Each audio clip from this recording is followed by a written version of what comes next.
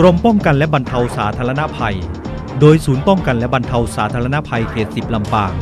ได้ดำเนินการจัดให้มีการฝึกซ้อมแผนป้องกัน และบรรเทาสาธารณภัยระดับกลุ่มจังหวัด ประจำปี 2557 ขึ้น เพื่อตอบสนองนโยบายรัฐบาล ในการเตรียมความพร้อมให้กับทุกภาคส่วนที่เกี่ยวข้อง รับมือกับสถานการณ์ภัยขนาดใหญ่ ที่ต้องอาศัยการบูรณาการ การปฏิบัติงานในระดับกลุ่มจังหวัด โดยในการฝึกซ้อมแผนครั้งนี้ เป็นการฝึกปฏิบัติ แนวทางการบริหารจัดการศูนย์พักพิงชั่วคราว กรณีเกิดอุทกภัยขนาดรุนแรง โดยใช้ชื่อรหัสในการฝึกซ้อมแผนครั้งนี้คือ LAM Camp X14 โดยได้กำหนดให้วันที่ 18 กรกฎาคม 2557 เป็นวันฝึกซ้อมแผนเต็มรูปแบบ การฝึกซ้อมแผนดังกล่าว เพื่อเป็นการเตรียมความพร้อมให้กับหน่วยงานทุกภาคส่วน ในการเตรียมรับมือกับสถานการณ์ภัยพิบัติที่อาจจะเกิดขึ้น และอาจมีความรุนแรงเกินขีดความสามารถในระดับจังหวัดทำให้กลุ่มจังหวัด มีความจำเป็นต้องบูรณาการการทำงานร่วมกัน ในการแก้ไขปัญหาเพื่อบรรเทาสาธารณภัย เพื่อให้เจ้าหน้าที่ของหน่วยงานต่างๆ ที่เกี่ยวข้อง ได้มีการฝึกปฏิบัติทำภารกิจ ตามบทบาทหน้าที่ของหน่วยงาน ทั้งการจัดเตรียมสถานที่สำหรับจัดตั้งศูนย์พักพิงชั่วคราว การจัดหาปัจจัยพื้นฐานที่จำเป็น การบริหารจัดการผู้อพยพ การจัดระเบียบศูนย์พักพิงชั่วคราว การอำนวยความปลอดภัย การอำนวยความสะดวก รวมไปถึงการเตรียมความพร้อมด้านเครื่องมือ วัสดุอุปกรณ์ที่จำเป็นสำหรับใช้ในการกู้ชีพกู้ภัย ตลอดจนการเตรียมเครื่องมือสื่อสาร แจ้งความเคลื่อนไหวสถานการณ์ และเชื่อมโยงประสานงานระหว่างพื้นที่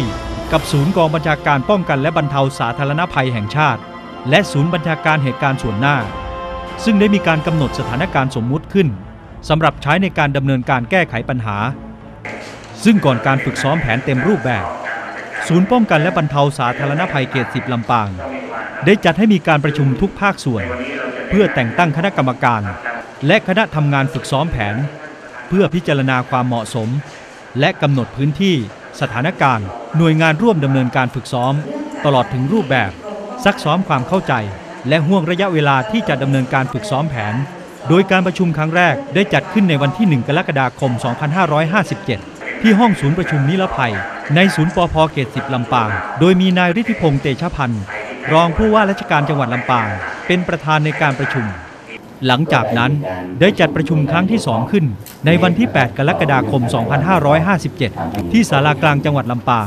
เป็นการประชุมส่วนราชการ เพื่อเตรียมความพร้อมฝึกซ้อมแผนการป้องกัน และบรรเทาสาธารณภัยระดับกลุ่มจังหวัด ประจำปี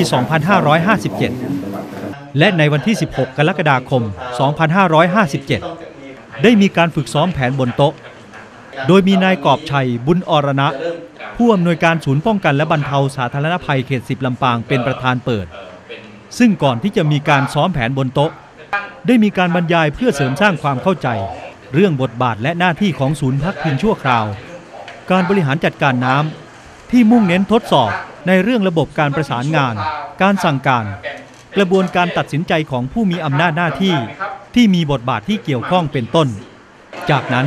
เป็นการฝึกซ้อมแผนบนโต๊ะ โดยได้มุ่งเน้นทดสอบในเรื่องการประสาน การสั่งการ และกระบวนการตัดสินใจของผู้มีอำนาจหน้าที่ ที่มีบทบาทภารกิจเกี่ยวข้อง โดยนำระบบ ICS มาใช้เป็นแนวทาง เพื่อแก้ไขปัญหาภายใต้สถานการณ์ที่กำหนด และให้มีการอภิปรายตอบโต้สถานการณ์ ในแต่ละกลุ่มบทบาทภารกิจ โดยมีทุกภาคส่วนที่เกี่ยวข้องในการฝึกซ้อมแผนเข้าร่วมกันอย่างพร้อมเพรียง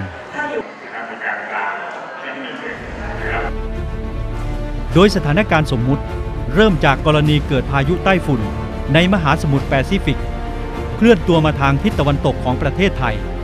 ทำให้ในภาคเหนือเกิดฝนตกหนัก โดยเฉพาะอย่างยิ่งที่จังหวัดลำปาง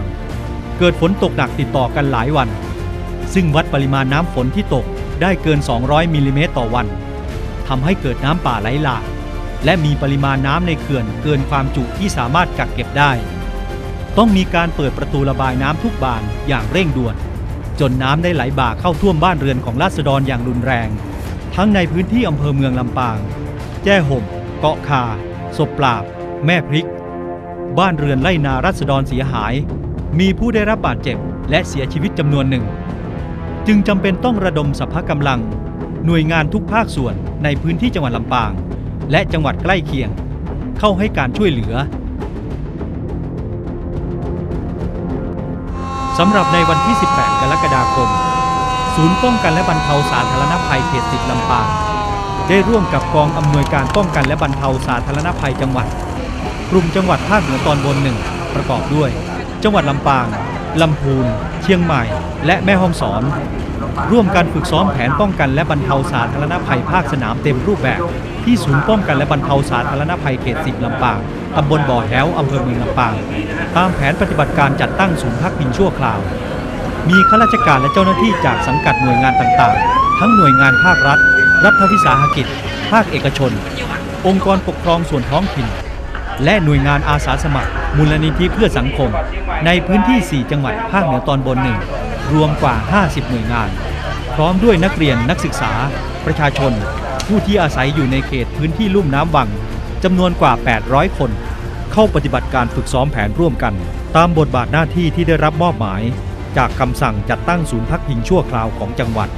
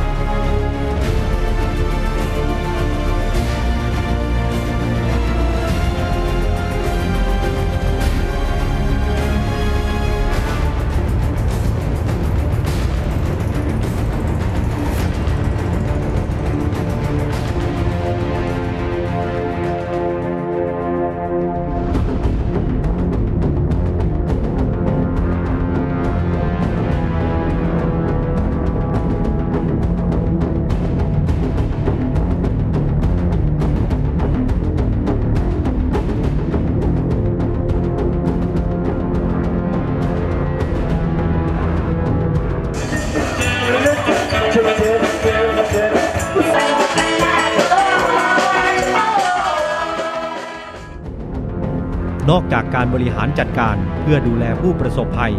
ในศูนย์พักพิงชั่วคราว เจ้าหน้าที่ระดับหัวหน้าฝ่าย จะต้องมีการประชุมรายงานสถานการณ์ต่าง ๆ ที่เกิดขึ้นภายในศูนย์พักพิงชั่วคราว เพื่อให้ผู้จัดการศูนย์พักพิงชั่วคราว ได้รับทราบและแก้ไขปัญหา ซึ่งจะต้องมีการประชุมประจำอย่างต่อเนื่อง จนกว่าจะปิดศูนย์พักพิง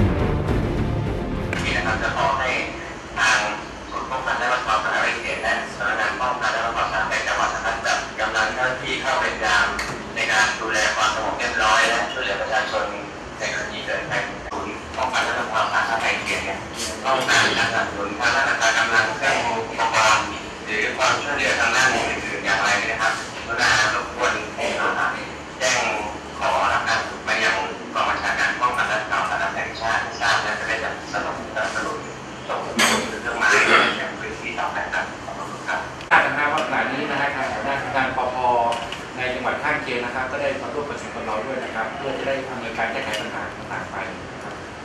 ก็ขอบคุณส่วนกลางครับขอบคุณมากครับอันนี้ก็ถือว่าเป็นการขอบคุณส่วนกลางนะแล้วก็อาจจะกลับมาสอบถามเราประเด็นว่ามีอะไรบ้างนะฮะในปัญหาที่เกิดขึ้นนะครับอย่างเช่นเรื่อง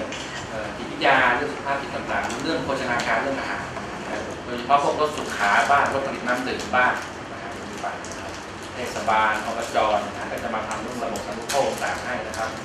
สองวันสามวันมานี้นะฮะทางอบจก็มาช่วยทำเรื่องห้องน้ำนะฮะทำพื้นที่ซักล้างต่างๆไปแล้วผมก็เชื่อว่าเดี๋ยวทางท่านผู้ราชการจังหวัดเองก็คงสามารถที่จะประสานไปเอกชนนะฮะสนับสนุนเรื่องต่างๆไป เพราะว่าถ้าอยู่เรานานๆนี่นะครับมันก็ต้องมีเยอะฮะความต้องการนะครับแม้กระทั่งเครื่องซักผ้าแม้กระทั่งอะไรนะฮะตามมาเยอะหมดครับพัดลมนะครับพัดลมเนี่ยโดยปกติเราที่ว่าเราพอเพียงแล้วนะฮะแต่ว่าเอาเข้ามากินเนี่ยนะฮะพอครอบครัวนั้นได้ครอบครัวนี้อยากได้บ้าง ตามมาเยอะเนี่ยอันนี้ก็จะเป็นภาระหนักหนักของฝ่ายบรรเทาทุกเอง ในการเชื่อมไปทางท่านผู้ว่าการจังหวัดท่านผู้ว่าการชาติในการที่บริหาการสนับสนุนต่างๆไปนะครับแล้วก็เป็นสะพานนะครับ มาเล่นดนตรีมาแสดงกิจกรรมต่างๆ ให้พี่น้องประชาชนคนไทยนะฮะได้เล่นได้ได้ร่วมในขณะนี้นะครับแล้วขณะเดียวกันเองของศูนย์เขตสิบลำปางเอง เราก็มีการประชาสัมพันธ์ในการจัดในภาพนี้นะครับ ที่ห้องศูนย์นิรภัยนะครับ เราก็มีผู้อพยพส่วนหนึ่งนะครับ นะครับแล้วก็จะเป็นมุมหนึ่งที่เป็นมุมเกี่ยวกับเรื่องการสัมภาษณ์ชีพนะครับมาจัดกิจกรรมสอนเรื่องอาชีพต่างๆนะครับซึ่งณขณะเนี้ยทางมณฑลสัมพันธ์เองก็ได้เล่นดนตรีเหมือนกันนะครับก็สุดท้ายเนี่ยภายในศูนย์นักพิงเราเนี่ยมันจะมีกิจกรรมนันทนาการที่นะฮะบันเทิงต่างๆอย่างน้อยสองจุดนะครับอันนี้ก็เป็นบรรยากาศภายในศูนย์ที่เราไปนะครับซึ่งเราก็มีผู้มีการเป็นเป็นผู้ให้เลยนะฮะมีผู้เพราะนั้นเนี่ยก็จะนอนเล่นอยู่ ต่างๆแล้วก็นี่บริการนวดนะนะฮะเพราะฉะนั้นหน่วยงานต่างๆถ้าพอรู้เท่านะก็จะนำอาสาสมัครต่างๆเข้ามาช่วยเป็นการผ่อนคลายนะครับเป็นการผ่อนคลายทั้งผ่อนคลายผู้ประสบภัยแล้วก็ผ่อนคลายเจ้าหน้าที่ของเราด้วยนะครับก็จะเป็นบรรยากาศที่เราจำลองให้เห็นนะที่ไม่เห็นหลังจากได้มีการฝึกซ้อมแผนเสร็จสิ้นแล้ว ศูนย์ได้จัดให้มีการประชุมประเมินผลการซ้อม เพื่อปรับปรุงแก้ไขแนวทาง การบริหารจัดการศูนย์พักพิงชั่วคราวของจังหวัด และศูนย์ปพเขตสิบลำปางให้มีประสิทธิภาพ พร้อมรองรับสถานการณ์จริงต่อไป และขอขอบคุณทุกภาคส่วนที่ร่วมทำการฝึกซ้อม จนบรรลุผลตามวัตถุประสงค์ด้วยดีนของศูนย์ป้องกันและบรรเทาสาภัยเขตสิบลำปางนะครับ แล้วก็ในนามของกรมป้องกันและบรรเทาสาธารณภัย ครับ ก็ต้องขอขอบคุณทุกหน่วยงานทุกท่านแล้วก็น้องๆทุกคนนะครับ ที่ได้นะฮะให้เวลากับทางศูนย์ในการฝึกซ้อมนะครับ มันจะต้องมีปัญหาต่างๆ ตามมาเยอะแยะเลยนะฮะการดูแลนะฮะคนเจ็บคนท้องนะครับถ้าคนท้องประมาณ 8 เดือน 9 เดือนแล้วนะครับ มันก็ต้องเตรียมและเรื่องห้องแพทย์ห้องฉุกเฉินนะครับ การมาอยู่กับเรา5 6วัน7วันแล้ว ก็เริ่มแล้วมีปัญหาทะเลาะเบาะแว้งกันบ้างนะครับ ปัญหาจากคนต่างกลุ่มต่างหมู่บ้านเขม่นหน้ากันบ้างจีบสาวกันบ้างนะครับ ปัญหาเรื่องสุขภาพสิ่งแวดล้อมอาหารโภชนาการต่างๆบ้างนะครับ เพราะฉะนั้นแล้วการซ้อมก็เหมือนกับเป็นการมาทบทวนภารกิจหน้าที่ของแต่ละหน่วยงานที่เกี่ยวข้องนะครับ เพื่อให้เมื่อมีผู้ประสบภัยมาจริงๆนะครับ ท่านก็จะได้ทำภารกิจหน้าที่ของท่านนั้นได้อย่างสมบูรณ์ ภายใต้การบูรณาการร่วมกันต่างๆนะครับ ซึ่งการซ้อมวันนี้ในสำหรับผมเองเนี่ยผมถือว่าประสบความสำเร็จนะครับ เพราะว่าเป็นจุดเริ่มต้น เป็นจุดตั้งต้นของความร่วมมือในหลายอย่างที่จะตามมานะครับ